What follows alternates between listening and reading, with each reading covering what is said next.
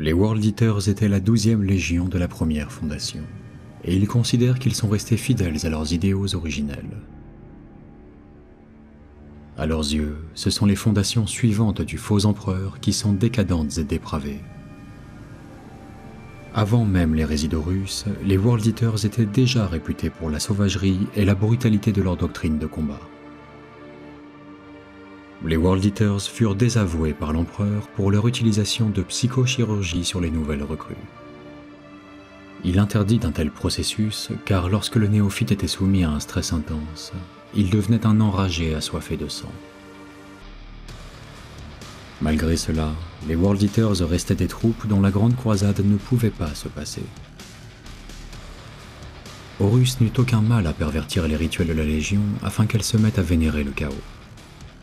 Sous son influence corruptrice, Angron, le primarque des World Eaters, se voit entièrement à corne. Angron ne fut pas difficile à convaincre, car son sens aigu de l'honneur avait été bafoué par l'empereur. Les prouesses martiales, l'orgueil démesuré et la propension à la colère de ce primarque le menèrent rapidement sur la voie de la démonification. Même s'il était autrefois synonyme de loyauté et d'efficacité, le nom des World Eaters fut assimilé au pire carnage de l'hérésie. Ils étaient à l'avant-garde de tous les assauts, et la Légion ne manque pas de rappeler que ce fut elle, et pas les Sons of qui ouvrit une brèche dans le palais impérial. Les World Eaters battirent en retraite de Terra en renaclant, puis se dirigèrent vers l'œil de la terreur, en laissant un sillage sanglant derrière eux. Leur rituel dépravé les fortifiait et les rapprochait lentement de Korn et de ses démons. Les formations équilibrées et polyvalentes disparurent au profit de groupes de démons équipés de haches et d'épées tronçonneuses.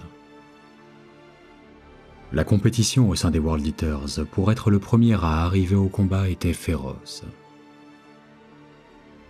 Alors que de plus en plus d'officiers de la Légion devenaient de véritables champions de corne, toute forme de discipline s'évapora. Finalement, lors de la terrible campagne de Scalatrax, Karn le Félon, un champion exalté de corne, s'en prit à ses propres frères avec une telle violence que toute la Légion se disloqua au cours d'une bataille fratricide. Lorsque la fumée des combats se dissipa, la Légion était divisée en centaines de bandes de guerre composées de bouchers psychotiques. Aujourd'hui, certaines de ces bandes comptent plusieurs centaines de membres, alors que d'autres ne sont composées que d'un seul champion et d'une poignée de guerriers. Ces bandes de guerres éparses ne s'unissent généralement que lorsque leur primarque démon jaillit de l'œil de la terreur. Des milliers de berserks s'engagent alors dans le sillage de celui que l'on appelle l'Ange Rouge pour mettre à feu et à sang des systèmes solaires entiers.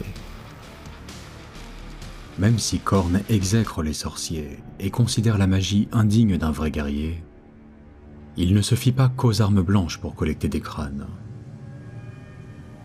La technologie et même les reliques ésotériques sont aussi des outils valables pour multiplier les victimes. Les plus terribles armes de corne sont des créatures mi-machine, mi-démon. Protégées par un blindage d'acier noir et marquées par la rune d'airain de corne, ces engins cauchemardesques sont des amalgames de monstres et de machines guerrières.